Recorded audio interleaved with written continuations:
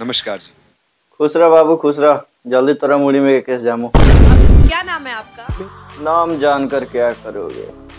बस इतना समझो। आ गया रूपा का फूफा। नेहा तेरे को छोड़ेगा नहीं साला।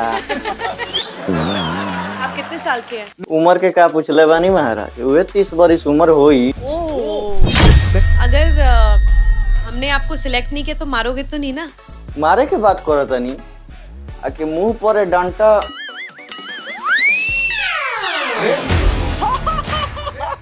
और अ, माता जी पिताजी क्या करते? हैं मेरे पिताजी हाउसवाइफ है और मेरी मम्मी किसान सॉरी मेरे पिताजी किसान हैं और मेरी मम्मी हाउसवाइफ है। और नेहा जी हमारे बाबूजी भी बैठे हैं वहाँ पे। तो प्लीज़ उनको बुलाइए हम उनके दर्शन करें। जी जी।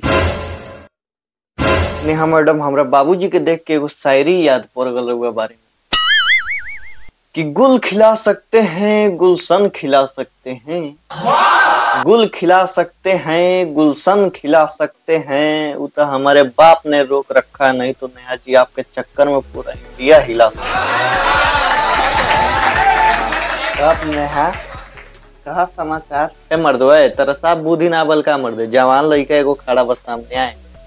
माने हम दो महीना से नेहा मैडम। तू मर्दे आवते जा। अरे फोसरे वाला हम तुमको पैदा किए हैं कि तू हमको पैदा किया है? हम आपको किए हैं। नेहा जी देखिए ये पृथ्वी पर ऐसा एगो लड़का है साला जो बेटा नहीं बाप पैदा किया ठीक हो ठीक हो जा। बैठे जा। ठीक है तो नेहा जी कार्यक्रम को शुरू करते हैं। आज हम बांसुरी का धुन सुनाएँगे कुछ। सुन ले लो।